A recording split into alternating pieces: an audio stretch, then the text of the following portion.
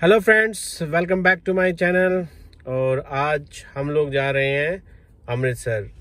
ये मेरी पहली ट्रिप है रोड ट्रिप है फैमिली के साथ। और हम लोग जाएँगे अमृतसर, जहाँ पे हम देखेंगे गोल्डन टेंपल उसके बाद हम लोग जाएँगे जलियावाला बाग और हम लोग देखेंगे बागा बॉर्डर और नेक्स्ट डे हमारा प्लान है करतारपुर साहिब जाने का। और इस वीडियो में मेरे साथ रहेंगी आयुषी और मेरे पेरेंट्स मम्मी पापा और मेरे सिस्टर जो कि हमारे साथ जाने वाली हैं। अभी हुए हैं दस बज गए हैं तो हम लोग अभी निकल रहे हैं यहाँ से।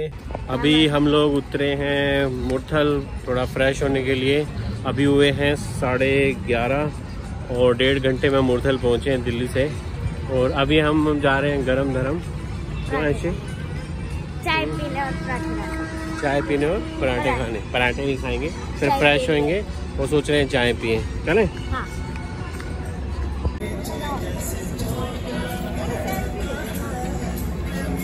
अभी हम लोग निकल रहे हैं। रेस्ट हो गया, अब चलते हैं। अगर आप आगे देखते हैं, कहाँ पे रुकेंगे?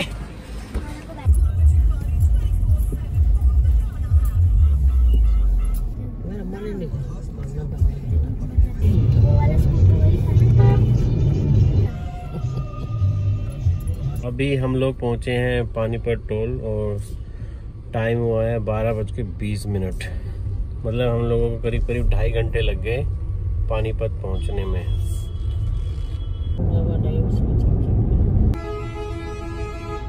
अभी कर रहे हैं टोल क्रॉस यहाँ।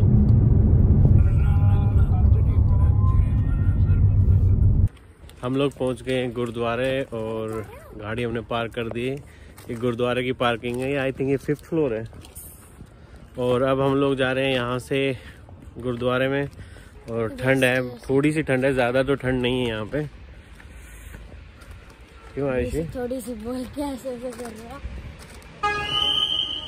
यहाँ पार्किंग की अच्छी फैसिलिटी है और बहुत ज़्यादा बहुत अच्छा स्पेस है यहाँ पे। आप गाड़ी पार्क कर सकते हो कोई इशू नहीं है यहाँ पे गाड़ी पार्क करने में। ये यहाँ की मार्केट है धर्म सिंह मार्केट। अभी तो बंद है क्योंकि सुबह है। और जब मैं दिन में आऊँगा तो मैं आपको दिखाऊँगा ये मार्केट। सुबह सुबह भी काफ़ी चहल पहल है क्योंकि सैटरडे है तो सैटरडे संडे यहाँ पे ज़्यादा भीड़ रहती है।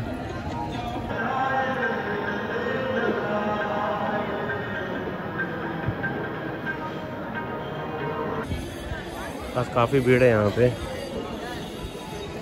सामने आप मेरे देख रहे होंगे वो है जूते के काउंटर उधर तो वहाँ पे आप अपने जूते जमा करा सकते हैं। और उसके बाद यहाँ पे दो तीन इंट्री गेट हैं। एक इंट्री गेट इधर है एक इंट्री गेट मैन उधर है। ये मेरे डैड है ये घूम रहे हैं। कहाँ घूम रहे हो तुम लोग? मैं और आयुषी जा रहे हैं अभी लंगर खाने।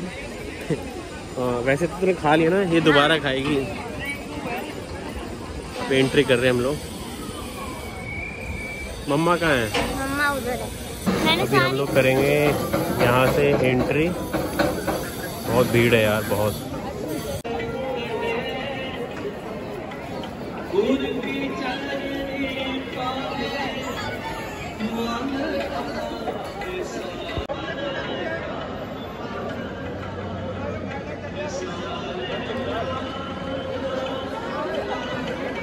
लंगर प्रसाद हम लोगों ने ले लिया है और अब हम लोग जा रहे हैं जूते लेने के लिए।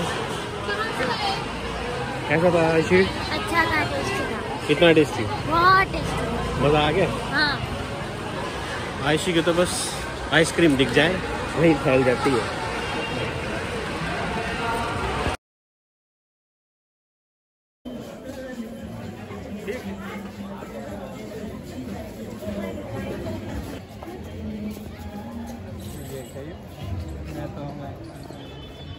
पे आई थी? जलियावाला बाग में। वहाँ क्या कर रही है? देख रहे हैं। क्या देखने आई थी? धूप पसीना गर्मी। नहीं। अभी हम जा रहे हैं मौत का कुआ। अभी मौत के कुएँ पे जा रहे हैं देखने के लिए। और ये रहा हमारे सामने।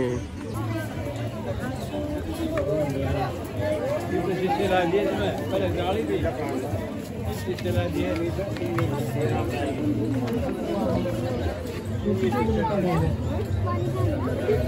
कुछ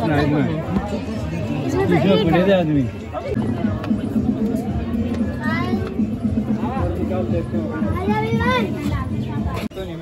ये हैं गोलियों के निशान, जहाँ गोलियाँ लगी थी।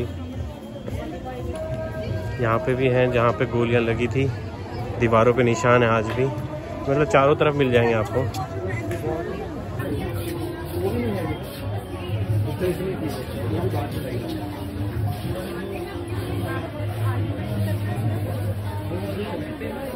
ये बुलेट्स का मैप है जहाँ जहाँ गोलियाँ लगी थी। मम्मी तो थक गई। थक गई मम्मी? ज़्यादा दर्द हो रहा है। ये एग्जिट और अब हम लोग निकल रहे हैं यहाँ से। आयशा नहीं आया मज़ा? आयशा को तो मज़ा ही नहीं आया। गर्मी बहुत है ना इसीलिए।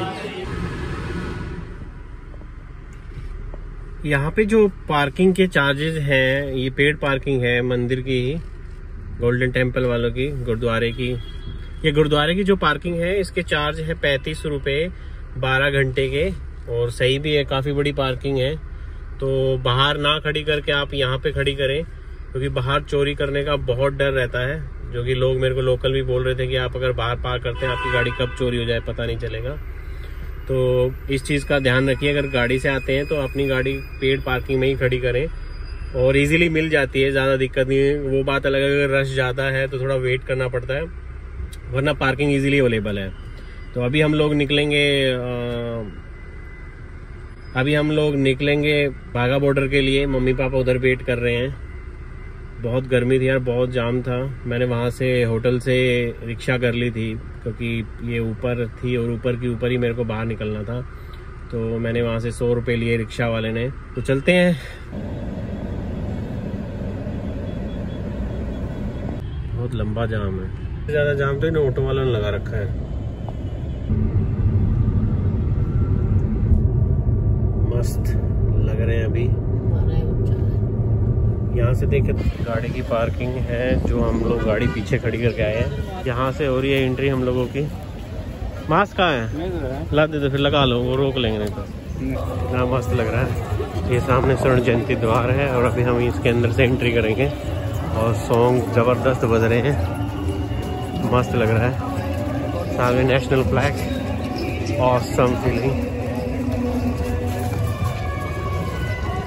हर नापाक इरादे को चकनाचूर करने में सदैव सफलता प्राप्त की।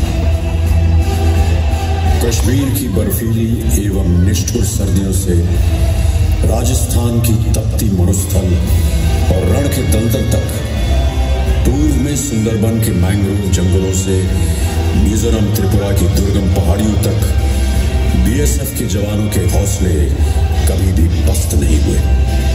आज विश्व की सबसे बड़ी border guarding force BSF Pakistan एवं बांग्लादेश के साथ पड़ने वाली लगभग सात हज़ार किलोमीटर से भी ज़्यादा लंबी भारतीय सरहदों की सुरक्षा सुनिश्चित करती है। इन सरहदों पर आने वाली हर एक चुनौती का सामना बीएसएफ के जवानों ने अत्यंत वीरतापूर्वक किया है। हमने सरहदों के वीरान अंधेरे अपने लहू के चिरागों से रोशन किए हैं। यही जॉइंट चेक पोस्ट अटारी भी बीएसएफ के जवानों के शौर्य एवं वीरता की खामोश गवाह है। 1947 में भारत के विभाजन के बाद ये जेसीपी अमृतसर लाहौर मार्ग पर बॉर्डर पिलर नंबर 102 के नज़दीक स्थापित की गई। स्थित गाँव अटारी। महाराजा रणजीत सिंह की सेना के जनरल श्याम सिंह अटारी की जागीर का एक हिस्सा था। वादा इसी जेसीपी से सटा एक पाकिस्तानी गाँव है। स्वतंत्रता के पश्चात इस चेक पोस्ट पर राष्ट्रीय ध्वज को सर्वप्रथम 11 अक्टूबर 1947 को फहराया गया। 50 के दशक के मध्य में इसकी सुरक्षा एवं निगरानी की ज़िम्मेदारी पंजाब पुलिस को सौंपी गई। वर्तमान स्वरूप में होने वाली रिट्रीट सेरेमनी को सबसे पहले सन उन्नीस सौ बावन में आरंभ किया गया था। इसमें सूर्यास्त के समय भारत एवं पाकिस्तान द्वारा संयुक्त रूप से राष्ट्रीय ध्वजों को ससम्मान उतारने का समारोह आयोजित किया जाता है। एक दिसंबर 1965 को बीएसएफ की स्थापना के बाद से आज तक इस समारोह को आयोजित करने का गौरव बीएसएफ को प्राप्त है। ड्रम की आवाज़ पर परेड करते बीएसएफ के जवानों के सजे हुए कदम आत्मविश्वास से चौड़ी छाती और उनकी उत्साह से भरी भंगिमा भारतीय गर्व की परिचायक है। और हमें इतिहास में गुंजायमान शब्दों की याद दिलाती है। युद्ध के नगाड़े बज उठे हैं। रणबांकुरों ने अपने युद्ध क्षेत्र का चयन कर लिया है और शत्रु का सामना करने का समय आ गया है। तो आइए, अपने देश के कोने कोने से आए देशवासी एवं विदेशी मेहमानों सहित अब हम सब अपने प्यारे देश भारत की आम बाम शान से पूर्ण beating the retreat dekhte hain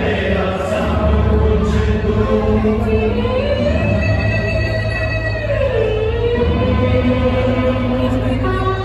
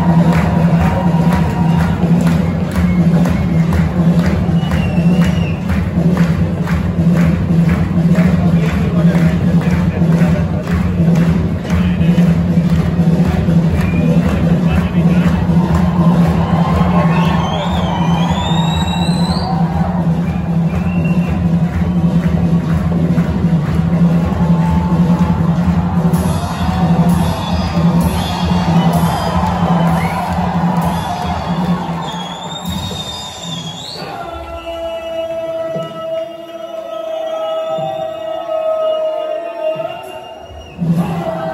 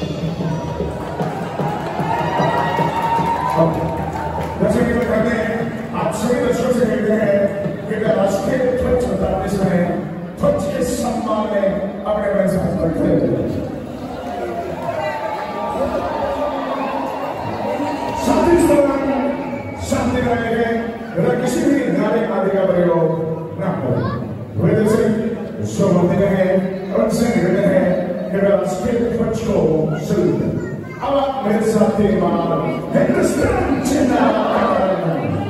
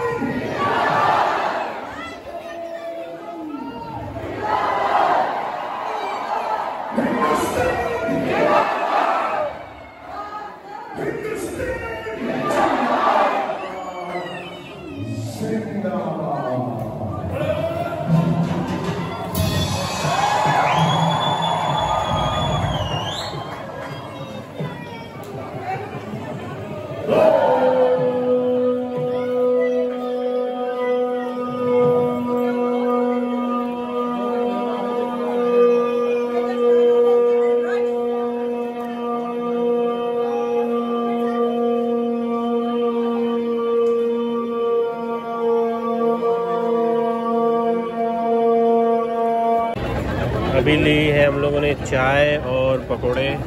I hope पकोड़े अच्छे होंगे। मम्मी, देखना कैसे हैं। गरम है। मी ना आया स्वाद। पकोड़ा में नहीं आया स्वाद। है? है सही है ना? फाइनली हम लोगों ने परेड देख ली है और अब लोग हम हम लोग अब निकल रहे हैं उसके लिए गोल्डन टेंपल के लिए। कि हमारा होटल भी उधर ही है। तो आज का एक्सपीरियंस बहुत अच्छा रहा। परेड बहुत मस्त थी। आ, लेकिन थोड़ा सा पार्किंग का इशू था। पार्किंग के लिए मैं आपको बताऊँगा कि पार्किंग जो ये लोग बोलते हैं यहाँ पहले ही रोकते हैं तो प्लीज़ वहाँ पे ना करें।